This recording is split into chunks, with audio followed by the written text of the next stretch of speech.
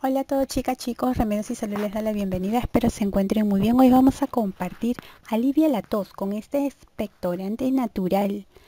Eh, antiguamente se usaba para combatir infecciones, por lo que es un eficaz antibacteriano y antiviral y antifúngico. Antes que nada chicos recuerden que este es un video de información. Cualquier tratamiento que ustedes deseen aplicarse no se olviden de consultarlo con su médico de cabecera.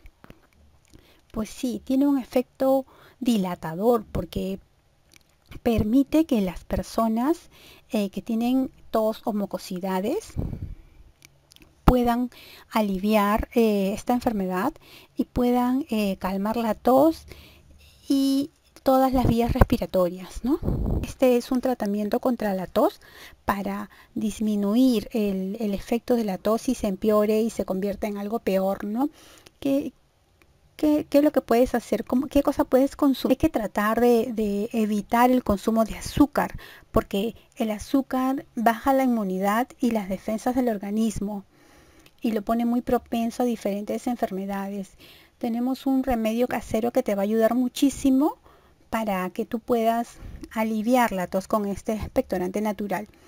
Es la leche con ajo medio litro de leche, cuatro dientes de ajo, los pones a hervir en una olla. Cuando empiece a ebullir, añades los dientes de ajo, luego lo tapas y lo dejas reposar más o menos unos 5 minutos y luego te lo tomas caliente.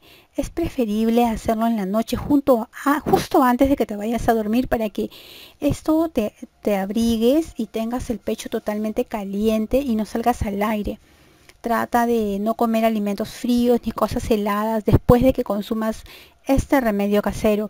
Te va a ayudar muchísimo, te va a ayudar a expectorar, ya que es un expectorante natural y es antibacteriano. Eh, pruébalo y me comentas cómo te va si es que estás con tos. Bueno chicas, chicos, espero que sea de gran ayuda este video de información. Compártelo con todas sus amistades del Facebook, suscríbete al canal y si conocen alguna receta o remedio casero, compartan en los comentarios.